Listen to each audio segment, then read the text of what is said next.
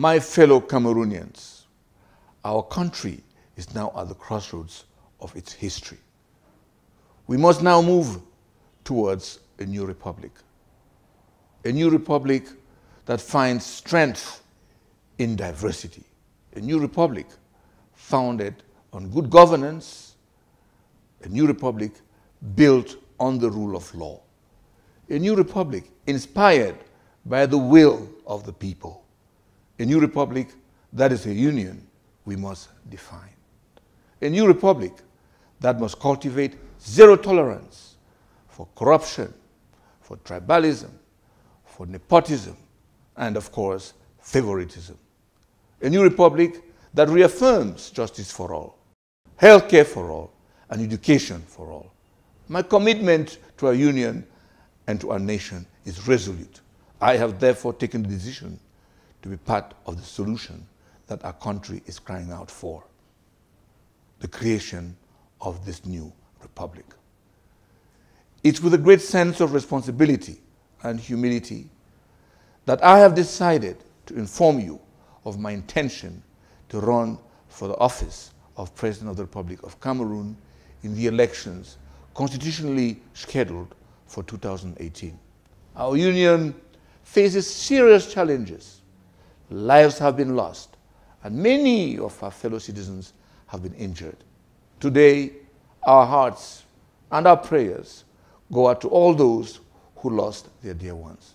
To the injured, we wish you all a swift recovery. Public and private property has been destroyed. The stability of our nation is in peril. Our institutions and systems of governance must be relevant to the hopes and aspirations of the people. The bond between citizens and their government must never break down. I have been blessed with a national and international career in civil society and also in international institutions.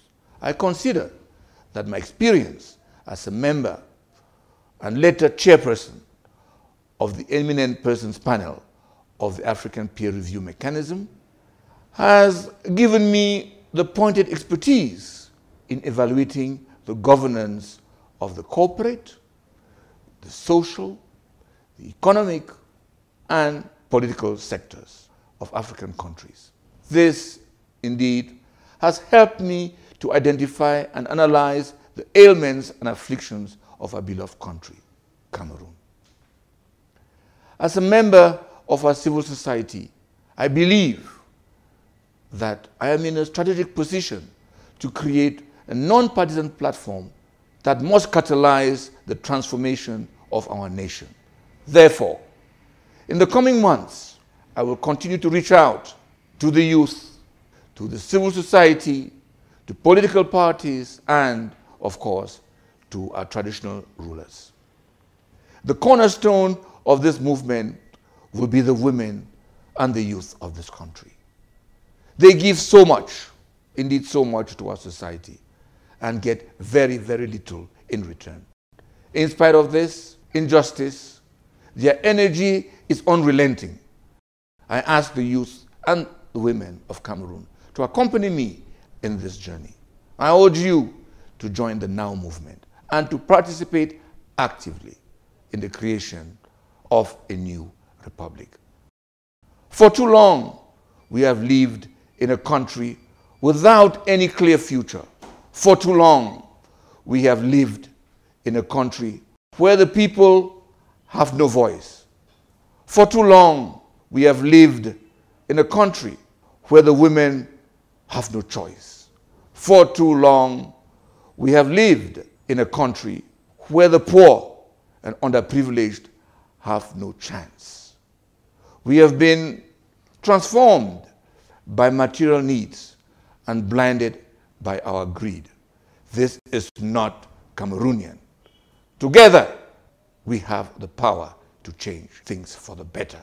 Together, we can direct the power. This power, we can direct it to succeed. Together, we can change our ways. Together, we can change our society. Together, we can change our country. And of course, ultimately, together, we can choose our leaders. The days of waiting are over. We must begin here, now, and today. Those who thought they put us to sleep now realize that we are wide awake. Those who thought we should never live in fear or that we are living in fear now realize we stand up to save our country.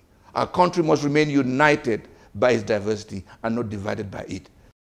Fellow Cameroonians, join our march towards the new republic. Join the Now movement. Be part of the change that 21st century Cameroon deserves. Join me and let us be part of the solution. Long live Cameroon.